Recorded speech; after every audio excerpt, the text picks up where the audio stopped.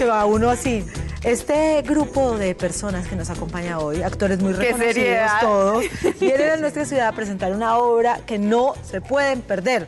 Pero no me gusta el título, Relaciones Prohibidas. Por Que Dios que no le gusta, a mí me encanta. Ay, es que todo depende de la personalidad. A mí ese tipo de cosas así medio macabrosas me dan como que terror. Pero me es dan que como porque prohibidas puede ser un prohibido chévere, no tiene que ser un prohibido maldadoso. Bueno, comencemos con las mujeres, con Jenny Osorio, Elisa Londoño, Daisy Lemus, está también Freddy Ordóñez, Andrés Gaitán, quienes nos acompañan en la tarde de hoy. Primero aclárenme, ¿qué tipo de relaciones prohibidas son las que se ven en la obra?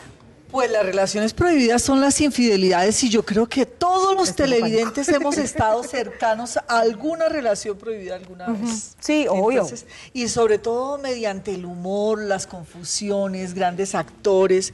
Entonces desde ya los invitamos a que se mueran de la risa porque son relaciones prohibidas pero que al final no pagan, entonces hay que verlas. Ah, aprenda, Sí. aprenda, que si se. Eso no deja buena- nada bueno. Lo que me gusta es que he llevado al humor. Y hay veces hacer humor y hacer humor fino en el teatro requiere de un compromiso actoral fuerte para uno realmente poder llegar y hacerlo como debe ser. ¿Cuál es el personaje que tiene cada uno dentro de la obra y cuál es el papel más o menos que juega? A ver, comencemos por aquí que estás tan calladito. Ay. Ah, ¿Quién lo ve? porque esos tan Sí, ¿quién lo ve? calladitos son ¿Quién los lo ve? ¿Quién lo ve? a ver. ¿Quién lo ve ahí? Bueno, yo hago el papel de Felipe, que es el mejor amigo de Miguel. Miguel es el dueño de la casa, que lo interpreta Andrés Gaitán y Julio Sánchez Cocaro. Eh, lo, los- lo interpretan. Yo soy el, el que paga los platos rotos de todo, el, la confusión que arma, porque yo soy un santo. Una santa paloma. Sí, yo sí. Tanto en la vida real como en la ficción. En la, en la vida real soy, soy así también, lindo. ¡Lindo! ¡Lindo! Mira, yo acá lo hago quedar mal. Delante de mi amante. Ah, se todo. Pero es que sabes que así es en la vida real. Ellos nunca hacen nada, pobrecitos. Pero yo te digo una Pero cosa, sinceramente, muy bobo, porque con una viejota así, yo estaría contando, pues, claro. estaría contando. y el papel tuyo es en serio de- No, eh, es que, bueno, lo van a ver, son diferentes relaciones. Hago de la esposa de Andrés Gaitán y de Julito Sánchez Cócaro. El personaje de ellos se llama Miguel. Y eh, también tengo por ahí mi guardadito que ahí estaría Felipe. Vengan, Ah. hablando Es que la- hay personajes que tiran la piedra y esconden la mano, pero son los que más. Y mi personaje, pues son varios. Soy cocinera, mesera, amante, prostituta y encargada de una marranera. Son las que pasan Sí, sí, sí, sí. Pero la marranera, ¿de qué tipo de marrano? Pues de todos. Hay unos bien, como Del los que estabas anunciando ahorita, vegetarianos. Vegetarianos. Sí, sí, sí. Bon appetit. Bon appetit. Muy bien. Bueno, el personaje mío, aquí nos toca mover fichas porque eh, desafortunadamente Julito no pudo asistir hoy porque Julio Sánchez Cócaro está en Bogotá ahorita este fin de semana en otro cuento, entonces hoy no nos pudo acompañar, pero él hace el personaje de Miguel, que es el, el mejor amigo de Felipe, esposo aquí de, de- Ay, de mi doña, cachón. y esta niñita que tenemos aquí al lado es la amante de él. ¡Ah, no! Entonces, pobre no. Ay, pobrecito, sí, claro. Ah, no. Ella también es la bobita del paseo. Ahorita el paseo. Los hombres en esta hora nos va muy mal. Uy, sí. Pobrecitos. Tan sacrificados, Yo tengo que decir, niñas, que es que hay como, o sea, no es por nada, los caballeros no es que estén feos, pero es que pues las mujeres están mucho más lindas, ¿no? Pero mucho. Gracias. Pero lo que pasa es que no alcanzamos a arreglarnos porque llegamos así de...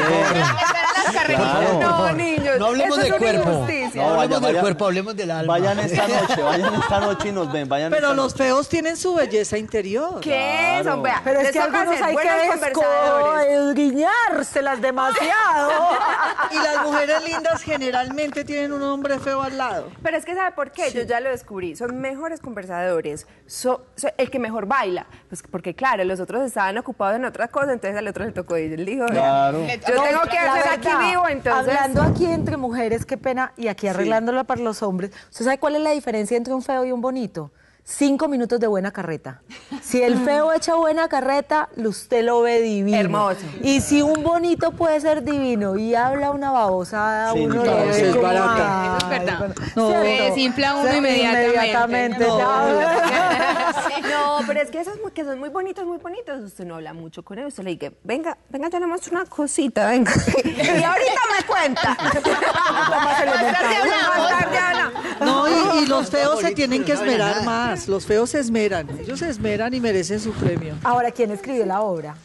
La obra la adaptó y la escribió Víctor Hugo Morán, otro gran actor también. Nos dirigió y nos dejó aquí sueltos en Medellín ya para que hiciéramos nuestra propia adaptación con el público. Bueno, ¿cuánto primeros tiempo pasos van a estar presentándose en Medellín? Uy. Nos quedamos hasta el 12 de diciembre. O sea, que hay Viernes y sábado, Casino Río, al frente del Centro Comercial San Diego, 7 de la noche, para que aparten sus mesas, hagan sus reservas. Casino Río, a las 7 de la noche. Tienen tiempo para Sí, es súper doña. Bueno el plan.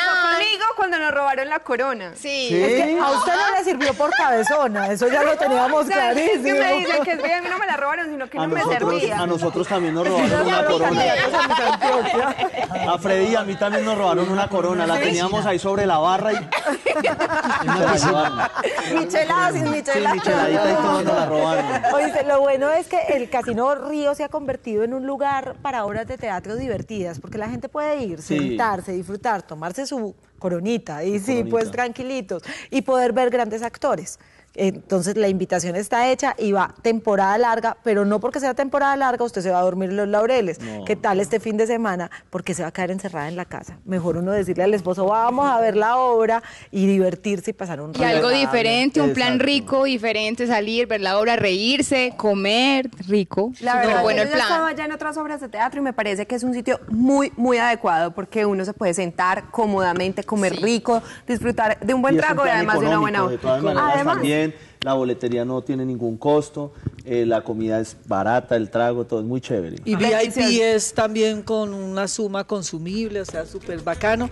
Y si van con su pareja, pues se van a ver muchos codazos, empiezan las situaciones. No, o peleando. Es que eso les quería preguntar en la vida real, o sea, saliéndonos, eh, en la vida real, ¿ustedes creen que sí existe la fidelidad o hay muchas relaciones prohibidas? La fidelidad sí existe, la tentación es la que siempre está latente y es lo que de lo que se habla la obra, porque realmente en la obra no se cae en la infidelidad. Yo tengo, por ejemplo, una relación prohibida. Tú que hablabas de, de las relaciones prohibidas, por ejemplo, la relación prohibida mía es con el dulce. Ah, Ah. Sí, el título se presta para no tan muchas interpretaciones diferentes. Pero hace un daño. ¿viste? No, es que, es que cuando yo Y me lo tienes a que había relaciones prohibidas divertidas. Es Come a escondidas, come no necesariamente hablando de infidelidad, Claro, hay relaciones prohibidas claro. chéveres. Hay mujeres que tienen relaciones prohibidas con la ropa, por No, ejemplo. hay Uy, cosas que son tan con los zapatos, ridículas que son no. relaciones prohibidas porque resulta que los papás se creen de mejor familia que la del, la del novio que va a pretenderla. Entonces resulta que no le pueden tocar la puerta porque el muchachito supuestamente no está para merecer esa familia. Eso puede ser una relación prohibida. Yo lo único que digo a todos los televidentes y a todos ustedes, porque de verdad las esperamos, los esperamos a todos ustedes, es que usted se va a sentir identificado con alguno de los personajes, pero se va a sentir identificado. Además que me gusta aprender a través de la risa. Y de verdad que, pues, sinceramente, yo hablo mucho cháchara, pero, pero en realidad en una relación seria no. A veces se, Hay que se- ponerse serio. No, y a veces se arriesga demasiado por, por momentos que no tienen importancia ni trascendencia. Así que qué chévere ver la obra. Ay, gracias. Ah, mira, pilas tú. que vea. Bueno, ¿y ustedes cuándo van a ir a verla? Porque ustedes tienen que ir a verla El para próximo poder fin de semana me comprometo, ya comprometidísima. Vamos juntas porque no es que somos pareja. Adivina. Pero se dice también Estamos que esperando bebé y todo. Adivina, adivina. ¿Cuánto tienes? Tengo ya tres meses. Ay, felicitaciones. Felicitaciones. Se dice, se dice en esto de las relaciones prohibidas que se puede mirar la carta, pero se come en la casa. Ah, sí, total. ah, no, es que es que a veces hay cartas que están muy interesantes. Ah, claro. En algunos casos mejor que las de la casa. Así que muchachos, esta palabra es permitida en nuestro a comer programa porque es muy del teatro. Mucha mierda. Muchas mucha. gracias. Los invitamos a que vuelvan durante esta temporada para que nos cuenten bien de todos sus personajes y todo, ya que van a estar largo, para que podamos conocerlos. Ay, cuando quieran. y gracias. ya podemos hablar con más propiedad porque ustedes ya la vieron, ya tienen un concepto de la obra, ya, Total. ya nos pueden dar palo. Compromiso, compromiso, Compromiso. Sin palo, sin palo. Ay, tan Muchas gracias. Nos separamos un segundito.